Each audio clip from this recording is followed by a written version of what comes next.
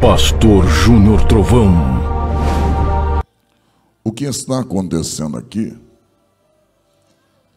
é que o carpinteiro, que ninguém conhecia até então, conhecia alguns como o filho da Maria, o filho de José, conhecia ele desta forma.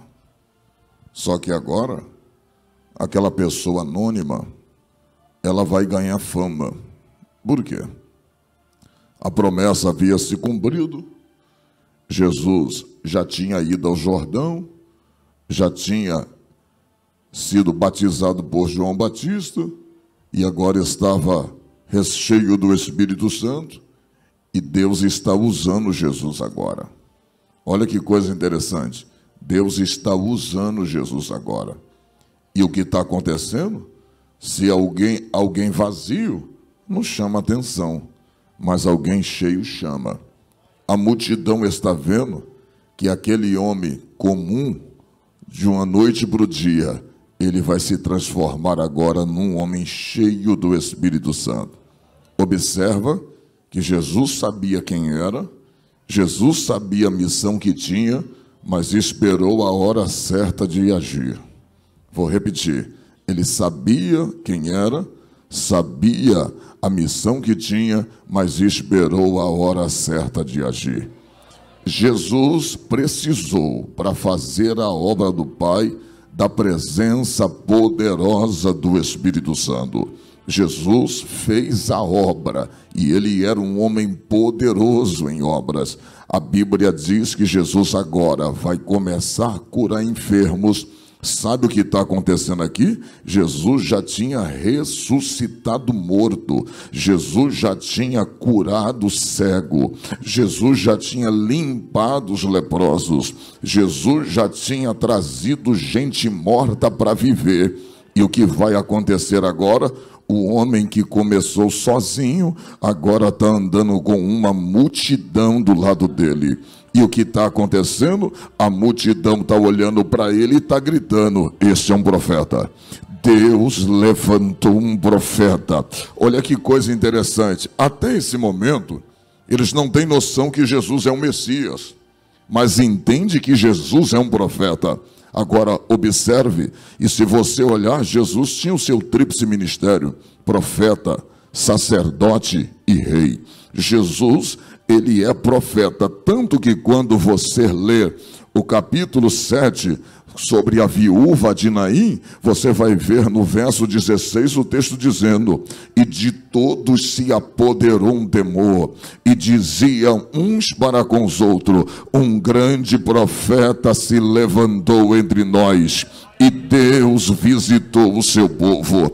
Sabe o que é isso? Profeta era aquele que falava em nome de Deus. Profeta era aquele que trazia a presença de Deus consigo e uma mensagem vindo da parte de Deus. Jesus não tinha só mensagem, Jesus era cheio da presença do Espírito Santo.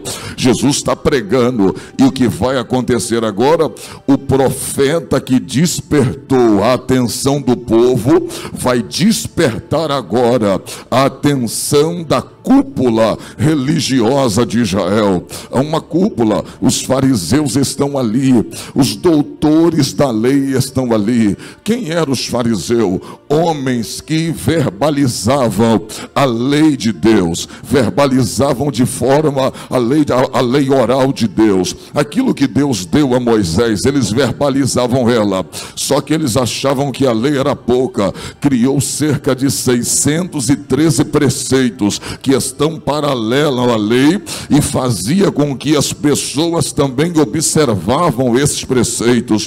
Foi por isso que Jesus olhou para ele e diz assim: Vocês colocam um jugo nos homens que vocês mesmo não podem carregar. Vocês apontam os homens, vocês colocam um fardo nas pessoas e esses fardos não permitirão que elas entrem no reino e vocês também não vão entrar entrar. Olha para cá, foi justamente essa cúpula que chamou a atenção, foi esta cúpula que Jesus chamou a atenção deles.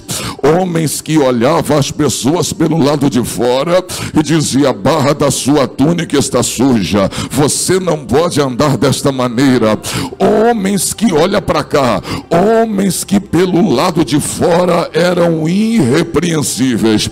Só para você ter uma ideia, os fariseus mais ortodoxos, os mais conservadores, eles não conversavam nem com mulheres da sua própria família na rua, eles só conversavam com pessoas do seu naipe. Só para você ter uma ideia, eles não paravam para conversar com pobre, eles não tinham muita amizade com gente que não era do nível deles, eles tinham uma santidade estereótipa, eles gostavam de chegar nas praças públicas, começaram a orar, começarem a orar e as pessoas os reverenciarem. Mas um dia Jesus chegou para eles e disse assim: Vocês são tão limpos por fora, mas vocês são como sepulcro caiado. Quando você estuda usos e costumes da Bíblia, no livro de usos e costumes, tem a imagem do sepulcro caiado, por fora limpo, por fora branco, mas o que tinha dentro do sepulcro, gente morta, defunto, cadáver. Jesus disse: para a sociedade vocês estão vivos, mas para mim vocês estão mortos. Eu vou falar mais uma vez: para a sociedade vocês estão vivos. Eu vou falar da glória só quem pegar. Sabe por que para a sociedade eles estavam vivos? Porque a sociedade observa o que está diante dos olhos. A sociedade observa o homem que vê, mas Jesus, ele não está olhando para você por fora, ele está olhando o seu homem interior, ele está olhando o seu introspectivo. Você quer ver uma coisa? Tem gente que pode até ter uma vida bem regrada, pode ter conduta, pode até ter um caráter, mas se as pessoas não perdoam, não pode entrar no céu. Eu vou falar mais uma vez: você sem perdoar, você pode não ter adulterado, você pode não ter fumado, não pode não ter cheirado. Sua conduta diante dos homens é ilibada, mas se você não perdoar, olha para cá, uma pessoa que não perdoa entra na igreja, uma pessoa que não perdoa entra no juizado, uma pessoa que não perdoa entra no tribunal, uma pessoa que não perdoa entra no shopping, uma pessoa que não perdoa entra nos Estados Unidos, uma pessoa que não perdoa vai entra no Japão, mas uma pessoa que não perdoa não entra no céu. No céu só entra gente que está baseada no Salmo 24, verso 13. Dos quem subirá o teu santo monte? Quem é que estará aí? O salmista diz: aquele que tem a mão limpa e o coração puro. Oh glória! Se o teu coração está puro, as tuas obras estarão limpas.